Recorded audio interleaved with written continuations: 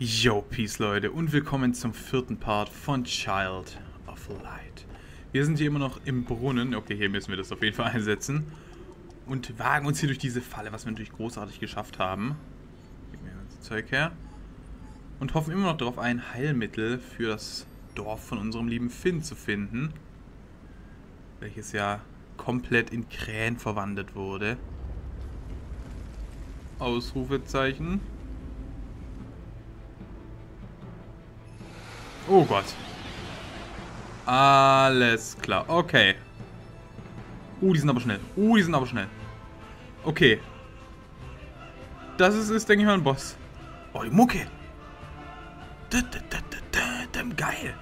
Da würde Finn halt schon was bringen, ne? Weil der kann halt alle... Ich glaube, ich wechsle mit Finn dann gleich. Ich glaube, ich wechsle aber Aurora aus. Ah, ich glaube, ich wechsle Aurora aus. Erstmal eine Überrumpelung auf ihn, weil er ist der Schnellste. Oh, wir müssen ihn noch ein bisschen verlangsamen. Äh, Gruppe Finn. Und dann kannst du mal... So, das ist Feuer, da hilft Blitz. Das, nee, Wasser, Blitz. Feuer, Erde und Erde dann wahrscheinlich Feuer. Heißt, wir machen mal... Nee, wobei wir machen Blitz auf den Wasser, weil der gleich da ist. Heißt, wir können ihn vielleicht unterbrechen. Yep, sieht gut aus. So, dann machen wir Damage hier. Ja, 95. Das bringt's. Gift. Oh Gott, jetzt ist unser Finn gelähmt worden. Ähm... Wir gehen... Wasserdude soll nicht angreifen. Verdammt, der weicht aus. Oh Gott, okay. Ich glaube auch, dass wir eine gute Wahl getroffen haben, dass wir Rubella behalten haben. Denn wir könnten uns hier heilen müssen. Okay, der soll angreifen. Sehr gut, Rubella. Okay. Auf den Wassertypen. Den verlangsamen wir dann gleich. So, Blitz auch nochmal auf Wasser, dass der vielleicht down geht komplett. Ich weiß nicht, wie viel die aushalten, aber die Hoffnung stirbt zuletzt, ne? Immerhin unterbrochen. Okay, das wird nichts mehr. Ah. Okay, jetzt auf den Wasser. Sehr gut. Oh, noch ganz kurz davor. Okay, sehr gut. Er greift an, bevor wir äh, im Vorbereitungsmodus sind. Der Wasserboy sieht schon relativ down aus. Heißt, lassen wir ihn mal ganz down gehen. Uh, Erde kurz verlangsamen.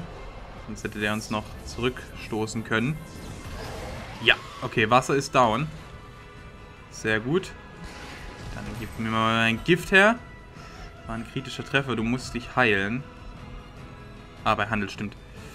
Heil dich selber. So. Ähm, auf Feuer mit dem Monsun. Jetzt kommt natürlich die Erde durch und trifft natürlich Finn. Fuck. Okay, okay. Das ist alles aber nicht gut gerade. Ähm, Überrumpelung einfach mal auf den. Komm, hör auf, gelähmt zu sein. Ich kann ihn irgendwie nicht... Jetzt kann ich ihn erst... Warum ging das gerade irgendwie nicht? So, Überrumpelung nochmal auf ihn. Und dann Monsun auf Feuer. So, wird er... Ja, er kommt noch in die Vorbereitungszeit. Sehr gut. Dann verlangsamen wir weiterhin ihn. Schön, zurückgestoßen. So. Jetzt müsste die Überrumpelung... Sehr gut, sehr gut. Wunderbar. Jetzt versuche ich mal den Feuer zu... Oh, fuck, wir haben keine MP mehr. Ähm... Dann nehmen wir mal kurz einen Trank. Einen Zaubertrank. Dass wir dann für die nächste Runde wieder ein bisschen was haben. Sonst kriegen wir natürlich ein bisschen Damage. Unser Leben sieht aber noch halbwegs gut aus. Ich sage halbwegs. Okay, Überrumpelung dann nochmal einfach auf ihn.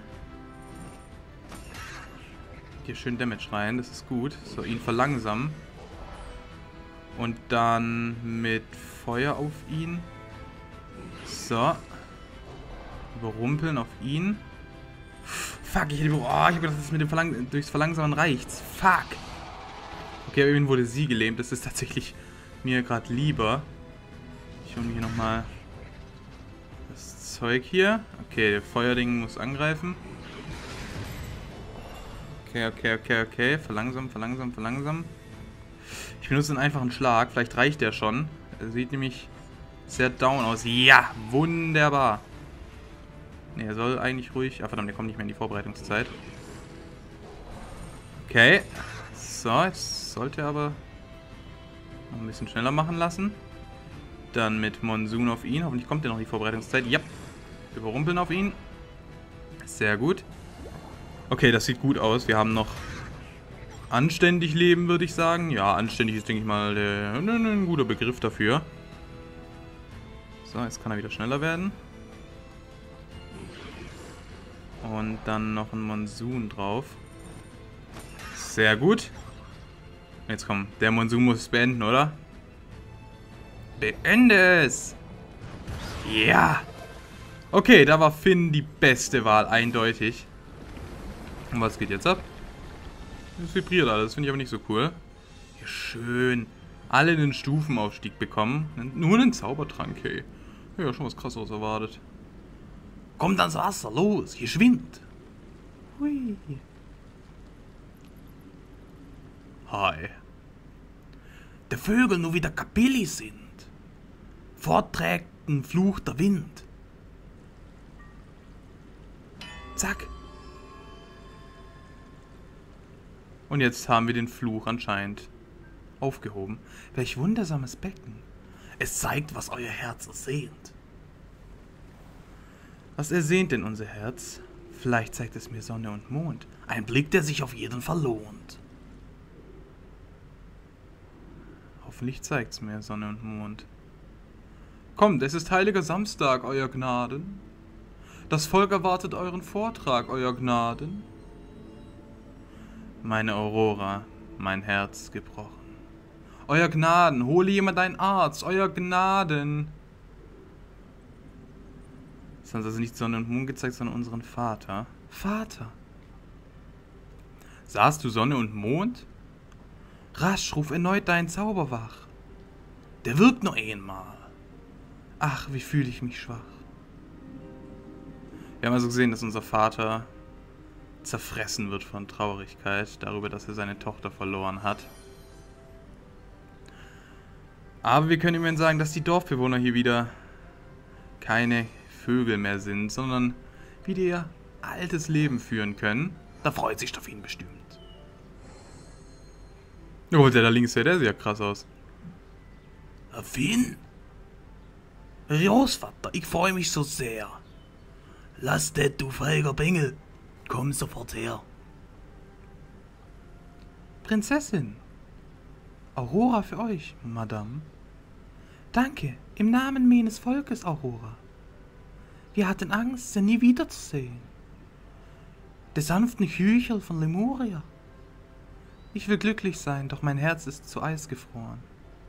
Ich fürchte, für mein Vater ist alle Hoffnung verloren. Der Dame Flöte, was sie wohl bewirkt, los, spitzt die Ohren, Okay, jetzt spielt sie diese geheimnisvolle Flöte also. Ein paar schöne Klänge kommen aus dieser Flöte. Aber was macht sie, ist die Frage. Aurora, es ist, als ob ein Vogel singt. Welch liebliche Musik erklingt. Machen tut sie noch nichts. Nichts hat sich geändert, nicht mal das Wetter aber irgendwie fühle ich mich jetzt schon besser. Aufgabe erfüllt. Finn in Not. Okay, ich kann noch mal in den Brunnen rein. Warum? Hey, du, ich kann dich sehen. Es freut mich sehr, mein Herr. Das ist ja schlimmer als... Ja, das... Der muss noch abgefuckter reden als Finn, also von dem her. Aber zum Glück lebe ich noch. Als ich in mein Haus kam, dem blöden Apfelbaum im Wald, hörte ich diesen Lauf. Es kam aus den Jahren. Die gingen hinaus. Die riefen an und mit Mühe kam ich fort. Zaubern konnte ich nicht. Stieß mir am dicken Zeh. Oh weh. Ja, das war versuchter Mord. Armer Mann, habt ihr kein Zuhause? Seid ihr vielleicht auf Hilfe aus? Kannst du mit dem Schwärm gehen? Bist nicht so ein Hasenfuß wie mein Enkelsohn? Können damit eine Belohnung stehen. Okay. Grauen im Garten. Vertreibe am blühenden Baume im Vertreibe am blühenden Baum in Mathildes Wald alle dunkle Kreaturen aus Avos Garten mit Gewalt. Gewalt! Gewalt ist immer gut. Wir haben natürlich Skillpunkte, das heißt hier erstmal zack. Und hier wollte man genau die Überrumpelung äh, schön erhöhen. Und bei Finn, äh, haben wir hier, ja. Okay, wunderbar. Okay, wir sollen jetzt in dem Wald alle Monster der Dunkelheit vertreiben. Weil es so schön hier. Schön idyllisch. Oh Gott, flieg doch nicht so hoch. Herrgott. Das ist richtig schön hier. Der dunkle Königin hat uns verführt, verflucht. In ihren Jahrten äh, nur Kräuternheim haben wir gesucht. Uns hat sie alle zu Vögeln gemacht. Das gibt ja ja nicht, ne? Hier komme ich nicht weiter. Wo ist, denn, wo ist denn der Garten? Wie komme ich denn zu dem Garten? Dann können wir noch mit den Leuten reden. Ich weiß, ihr und Finn solltet uns retten, aber echt, mein Mann ist stummer als ein Specht. Ey, also schon asozial, ne? Ich war hier, glaube ich, schon überall drin, oder? Oder war ich hier noch nicht? Aber wir waren hier, glaube ich, schon drin, aber wir waren hier noch nicht... Ne, wir waren hier nicht drin. Und dieses rege Treiben hier... Ich verhungere, fräse ich an meinen Hut. Schmeckt der einem Vogel denn gut? Ich kann nicht weg. Der Schaufel heb ich für einen Äppel. Wir, hat, wir halten danach Ausschau unter Birke und Pappel. Okay, der will ja so einen Apfel haben. Einen Apfel will er sich gönnen. Vielleicht finden wir ja zufällig einen. Dann können wir den dem netten Herrn zurückbringen. Können wir da weiter? Nee. Okay, was, hast du sagen? Euer Mut war wahrlich eindrucksvoll. Danke für die Rettung, das war toll. Ah, kein Problem, kein Problem. Verzeiht das Höchste vom Hohen, habt ihr es gesehen? Nie davon gehört, aber apropos. Des Mondes Tempels Mauern auf Ehrens Klippe stehen. Ehrens Klippe? Huch, war das ein Opponent?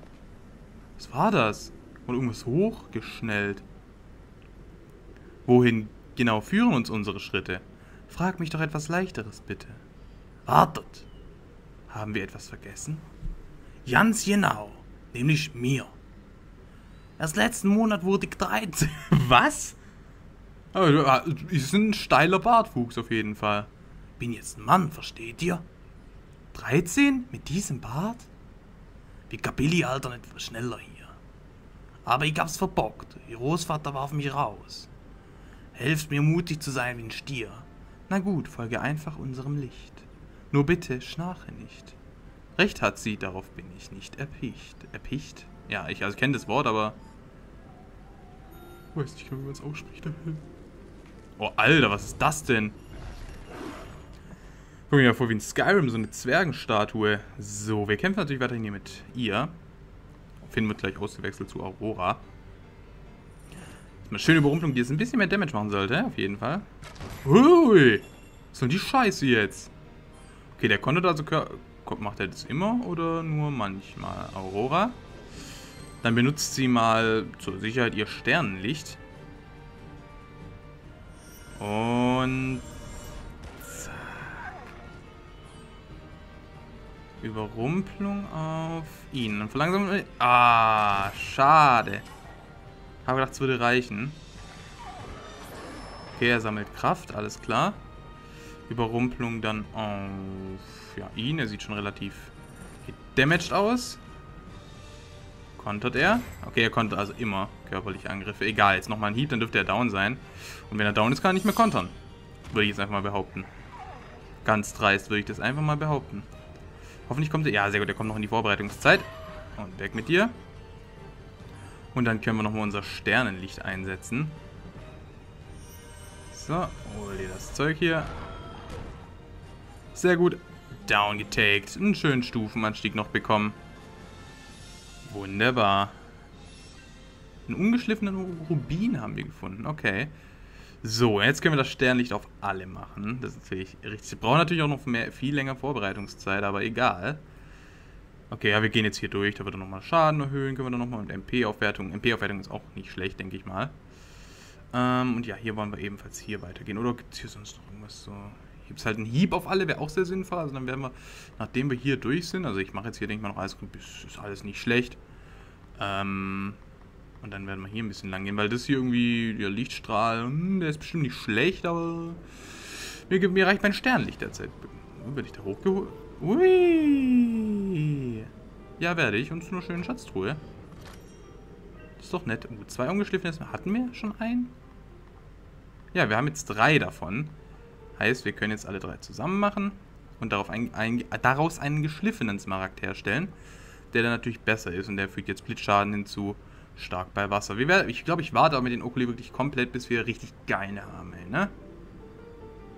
Bis wir so richtig geile haben. So, da kommt man durch. Ah, jetzt ist aber der Wind wirklich heftig. Wow. Da unten, hey, warte, nein, ich will da unten hin. Das werden wir doch schaffen, oder? Ah, okay, es hört doch manchmal auf, okay. Das wusste ich natürlich nicht. Zaubertrank. Gibt es da unten irgendwas Nettes? Ah ja, guck mal. Eine kleine Kiste. Mit einem Heiltonikum geht's da unten. Uah! Stopp. Nein. Okay, hier unten gibt es aber nichts mehr. Nein, nein, nein. Okay, ist ja egal. Ich wäre eh nur hier hochgekommen. Links zu den Rambib... Was? Rechts ist das Dorf der Kapilli. Um zu rasen. Okay. Ja, machen wir gleich, sobald es mal aufhört hier. Zack, zack, zack, zack. Nein, nein, nein, nein, nein. Schnell da durch. Oh Gott. Nein, hör auf. Hör auf damit. Das heißt aber schnell, schnell, schnell. Es weht und bläst ein stärkerer Wind. Nach dir, mein Vater sehnt sich dein Kind. Achso, das war, hat er gesagt.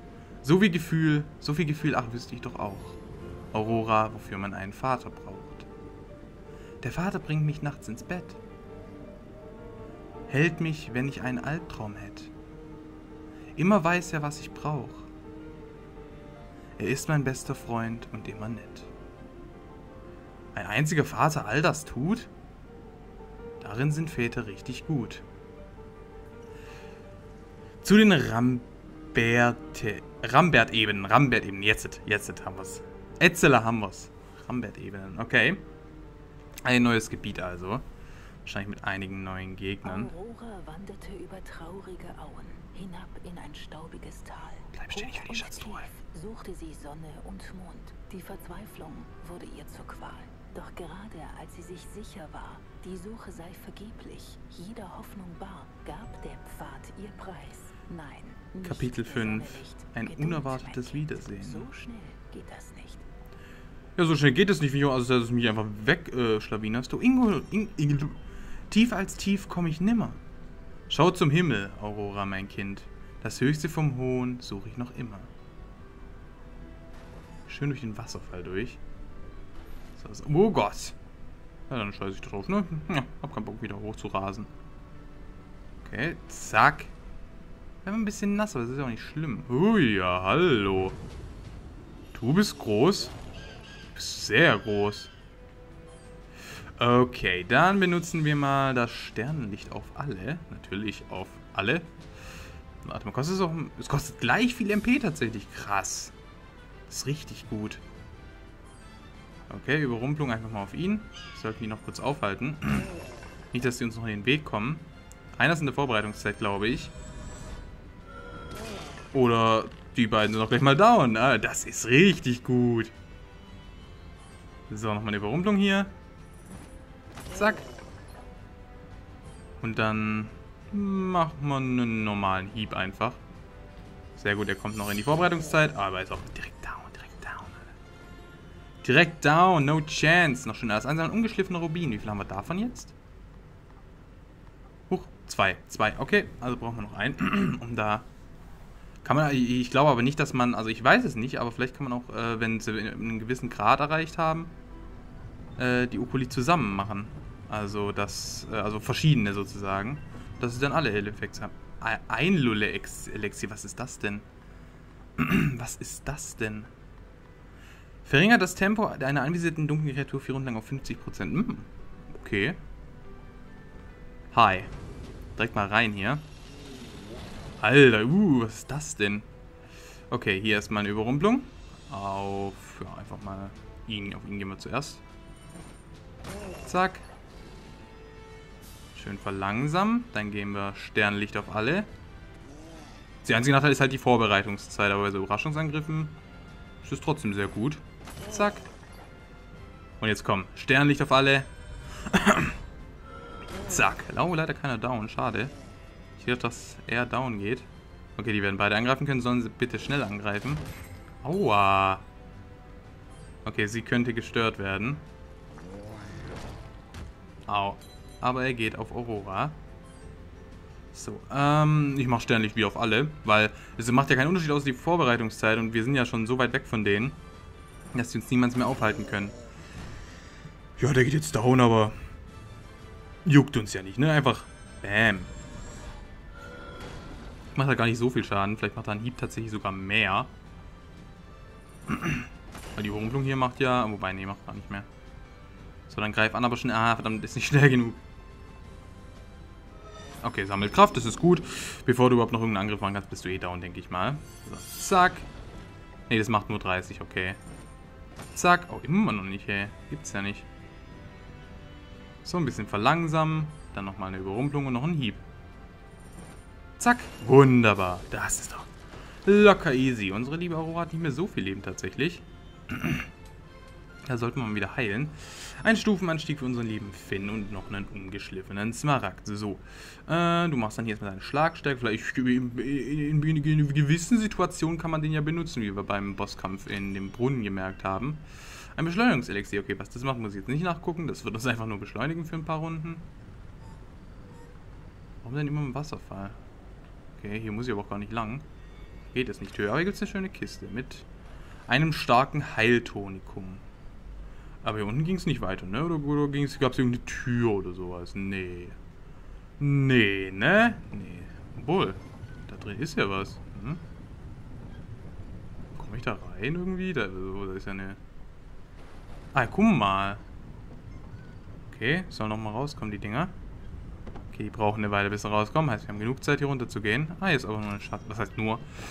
Ah, eine Schatztruhe. Ungeschliffener äh, Saphir. Davon haben wir jetzt genug. Heißt, wir stellen mal kurz einen geschliffenen Saphir her. So, das schaffen wir. Wow, sehr knapp, sehr knapp, aber hat funktioniert. Okay, und wo geht's jetzt weiter? Ach, hier geht's rein. Oh, habe ich nicht gesehen. Okay, dann müssen wir mit äh, schwimmen mit dem Strom. Okay, da oben gab es einen Hebel Moment. Der schaltet bestimmt das Ding hier aus. Aktiviere den Hebel. Ah, nee, ach so, er macht es überhaupt erst auf. Hallo? Wir kennen dich bestimmt schon, also zumindest Aurora. Denn sie ist ja Wiedersehen.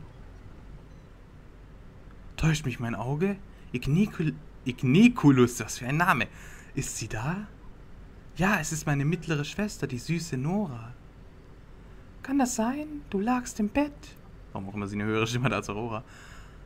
Aschfahl wie ein Brett, es war zum Verdrießen. Es ist ein Wunder. Mutter und Herzog werden Tränen vergießen. Wie lang bist du schon hier? Wie geht es Vater? Er fühlt sich schlecht, leidet gar sehr, seit er zu Bette liegt. Einen Tag ist es nun her. Gott, ich hoffe, die spricht nicht zu viel. Sanft habe ich ihn in den Schlaf gewiegt. Amseln flogen durch die Luft. Flieder verströmte herrlichen Duft, dann das Grauen. Den Turm hinauf schleppte mich ein Schuft. Hilflos zerrte man mich in einen Spiegel hinein. Ein Spiegel? Ich frage dich, wo kann der sein? Gehen wir nach Haus zu Mutter und Vater. Frohen Mutes werde ich dich begleiten. Der Weg führt hoch in die Berge hinauf. Unterwegs warten viele Schwierigkeiten. Als Familie überwinden wir fürwahr jedes Hindernis heute und immer da. Nora hat sich der Gruppe angeschlossen. Okay, haben wir also noch eine Person dazu bekommen, die natürlich erstmal viele Fertigkeitenpunkte hat. Was kann die denn so? Ah, okay, einlullen und beschleunigen. Okay, die ist auch eher so eine, so eine äh, Bufferin, sage ich jetzt mal. Hm. Mm. Versteinern ist natürlich nett. Mit 20%iger Chance, vier Sekunden lang. Hm. Äh, wenn ich das... Wo ist denn davon das nächste? Hier, dann ist die Chance auch höher. Ja, das ist gut. Was gibt es die sonst noch so? Hier gibt es noch Beschleunigen. Und halt einlullen wahrscheinlich noch hier unten. Unaufhaltsam schützt einen. Okay. Äh, nee, dann skillen wir mal richtig hier drauf. Dass wir hier da versteinern noch. Oh, verdammt. Ich werde aber, glaube ich, trotzdem bei... Also irgendwie... einlullen und beschleunigen ist ja sicherlich nicht schlecht. Ich glaube, ich werde bei meiner äh, Rubella bleiben irgendwie. Also mit das, die, die ist, ist super schnell. Ich werde also natürlich Nora mal ausprobieren, aber bis jetzt gefällt mir Rubella am besten so von, von der reinen Theorie. Aber ich würde sagen, das war's mit diesem Part von Child of Light. Ich hoffe, hat euch gefallen. Wenn ja, dann lasst einen Daumen nach oben da. Schaut in die Playlisten auf den Kanal vorbei. Wenn ihr Bock auf mehr habt, dann würde ich sagen, sehen wir uns hoffentlich im nächsten Part von Child of Light wieder. Peace up und haut rein.